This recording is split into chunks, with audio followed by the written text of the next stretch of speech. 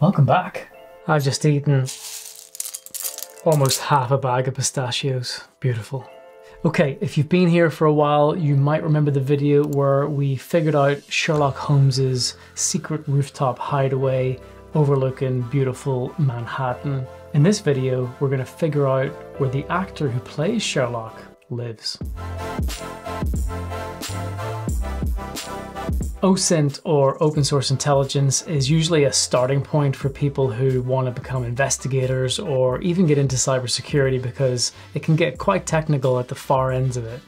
But at the early ends of it, the sort of easier part, Google Maps, Google searches, things like that, it's quite fun, it's quite accessible, anybody can do it, and armed with just some very simple basic information and maybe a couple of photographs, you would be amazed at the things that you can find.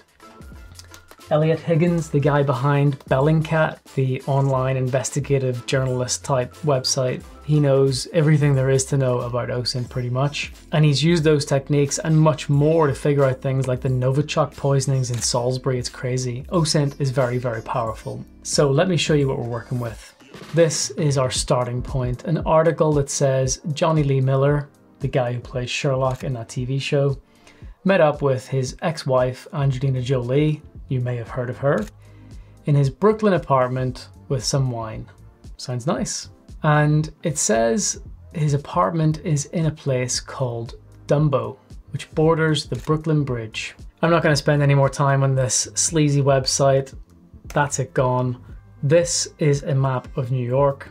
And if we type Dumbo, you'll see that Google Maps gives us this lovely highlighted area in red you got these parks, you got the Manhattan Bridge and the Brooklyn Bridge. So Dumbo's a pretty small area. We could walk the streets and see if we can find the doors that Angelina walked through. I've got them saved here on my desktop. Two photographs. One is slightly more important than the other. We'll start with this one. Angelina leaving the building via the left door. Here is another door. And if we go to this picture, you'll notice that there's actually three doors, one on the left, one in the middle, and one on the right. We're looking for three gold doors. Inside that doorway, there's a vent that might be useful just in case we get an angle. There's also a crack on the pavement and a sort of line that runs along underneath her toes. You've also got two pieces of A4 paper in the left door You've got two pieces of paper in the middle door and two pieces of paper in the right door. The pieces of paper on the right hand side are higher up than the pieces of paper on the left hand side. That's an important confirmatory detail in case there are multiple sets of doors that go into this building. And the reason why I say this is the most important picture is because we get to see the reflection. And if you just look here, this pole and its base plate. And the other one, that's scaffolding. And you can also see it here in the bottom left corner. This little white thing stops Angelina's lovely coat and bag getting ripped. If she was to walk past that bolt, it might scratch things. That's a little protective cover, and that is actually the scaffolding pole there. So how do we find these gold doors in Dumbo? Well, we walk the streets. I'm gonna start on the left hand side and work my way to the right. You don't want to walk down every little side street just yet. We just want to walk the main streets, learn the area, get the hang of it, and just peek down the side streets to see if anything jumps out at us. Now, I must be honest, I know where the apartment is. When I first did this, I found it within 60 seconds, and you'll see why. I'm gonna grab the little guy in the bottom right hand corner and just drop it on here.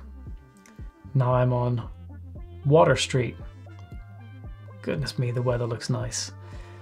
So let's head along the street. I'm just clicking on the ground. Peek down here. Nope, doesn't look right. Let's look along here. Get to the next junction. Here's scaffolding. Quite a lot of scaffolding in this area. And this is what really piqued my interest. I saw the scaffolding and immediately thought this is an area where we need to look a little bit deeper. There's no gold doors here. Doesn't look obvious down here. So I headed north first. And the second I clicked up in here, I noticed these doors on the right. Case closed. But we can go much further. If we click on the door and zoom in, we can indeed see our little posters here. The middle ones are lower than the right ones. We already saw that in our image. There they are. The middle ones are lower than the right ones. This is the right set of doors. One of the things you might wonder is what's this building called? You can zoom out on Google Maps and have a look, or you can just read the, oh, it's blurry. So it says one main street, but that's blurred out. Sometimes Google does this, they blur out the names of things. Clearly they don't blur out the names of everything. That sign is there. For some reason it blurred out this name.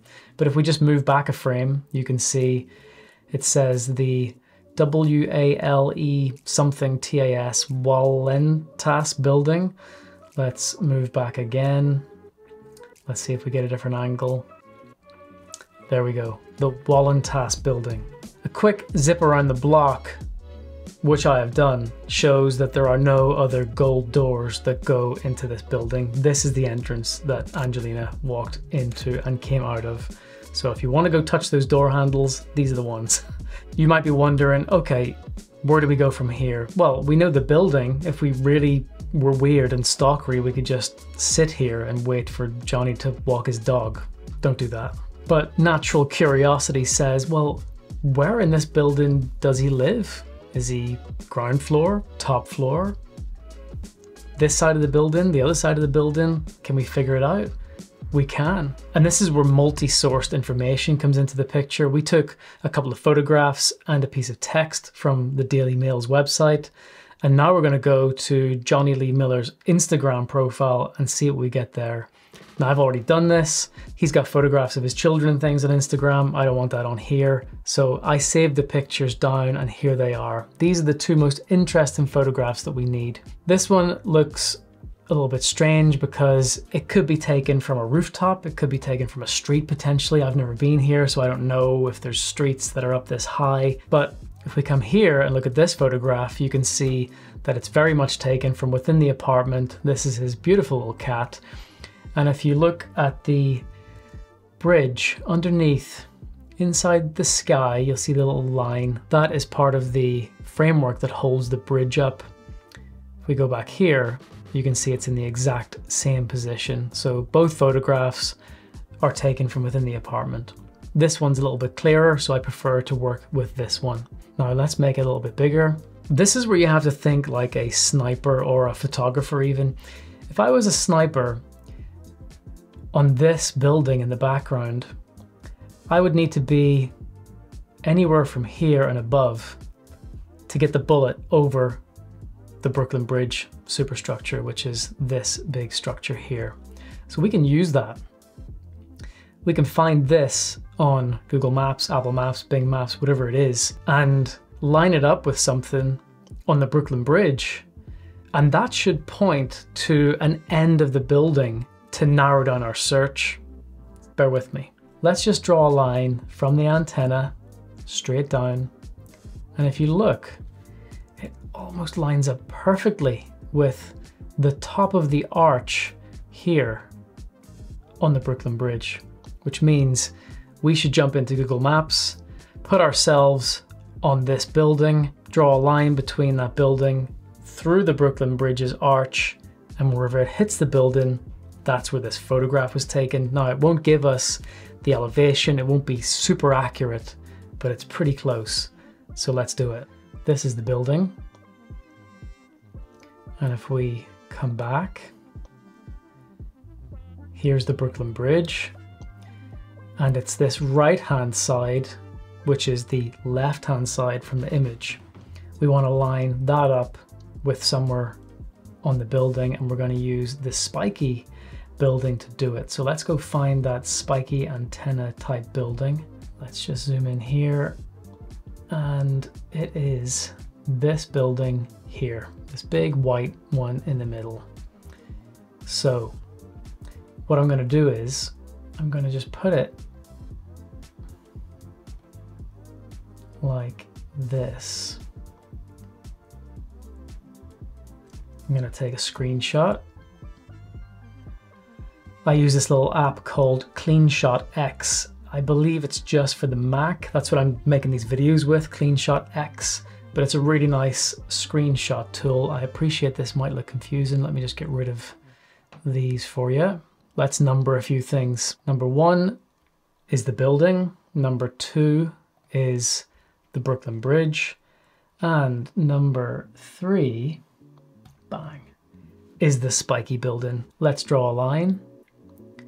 Using the line tool, I'm gonna make it a little bit thinner.